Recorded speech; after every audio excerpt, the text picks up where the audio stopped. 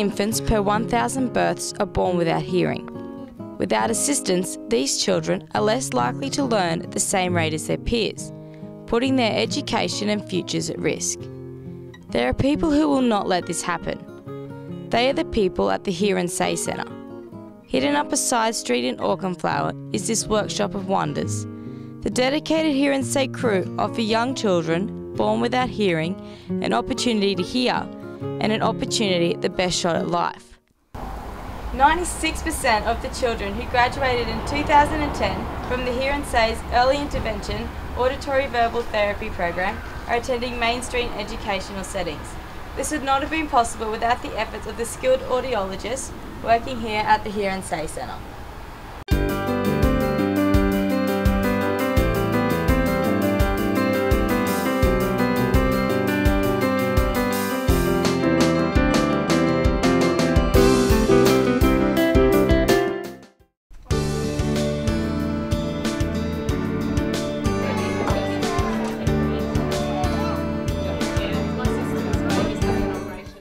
I'm here with Simone, a therapist at the Hear and Say Centre at Brisbane. So, Simone, what exactly does your job involve?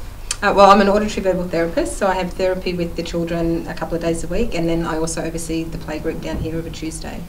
So, give us a quick run through of how the playgroup works. Like, what do you guys do down here? Um, well, it's um, just to involve all the families, so we try and make playgroup a bridge between what we do in lessons with the children for therapy and what the parents do at home, because with our program, it's really what the parents do at home that makes all the difference. So we just try and set up lots of different activities that the parents can stimulate their children's language, look at the goals that they're working on for their children, and try and integrate those into the activities that we have. Yeah, and would you consider your job a rewarding job? Like, do you enjoy doing it? Yeah, I love it. Yeah, it's fab- fabulous.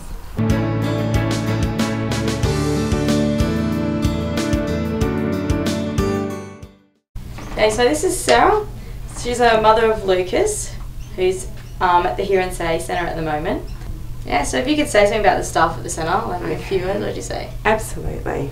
Um, the staff are incredibly committed. You can tell, you know, we're all here, the parents and families are here because we have to be, but they really seem to be here because they want to be.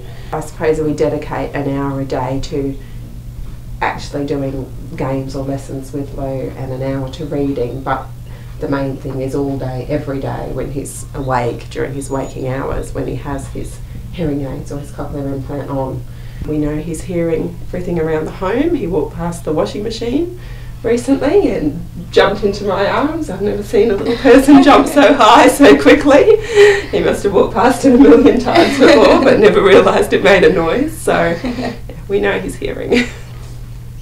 Imagine for a second not being able to hear rain falling on a tin roof, not being able to know what music is, what your mother's voice sounds like. Okay, I'm here with Kathy, the Community Relations for the Brisbane Hear and Say Centre.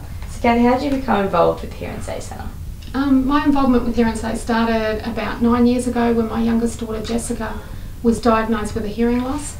Um, she was, her hearing loss was caused by chemotherapy, um, and when she went off to grade one, um, they asked me to stay, and I've, and I've been here ever since. So it was I've been working for them for six years now.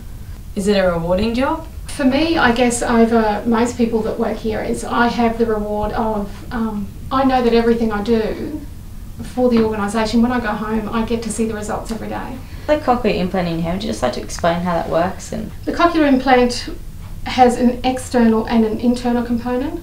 Um, unlike a hearing aid, for those um, people that have ever been familiar with hearing aids, hearing aids and cochlear implants start the same in the way that they work is that they have microphones on the back that receive the sound and then they have a microprocessing computer inside which processes that sound. Well, we're now nearly 20 years on, and Hear and Say is blossoming in every direction. We have lots of potential from here.